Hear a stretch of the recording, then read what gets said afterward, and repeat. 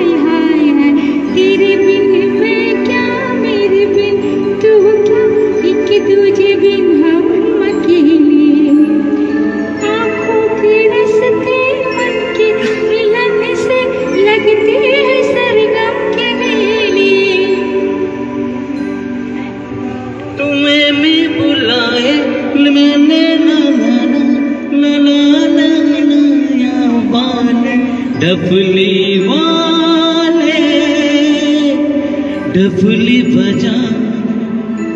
मेरे घुंघरू बुलाते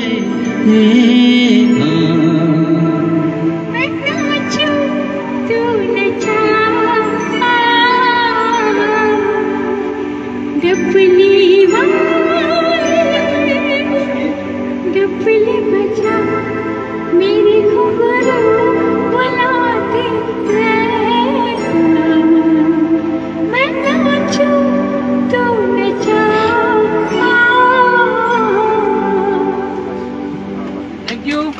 लेटेस्ट खबरों से जुड़े रहने के लिए हमारे चैनल स्काई मीडिया को अभी सब्सक्राइब कीजिए और इस वीडियो को ज़्यादा से ज़्यादा शेयर कीजिए। धन्यवाद।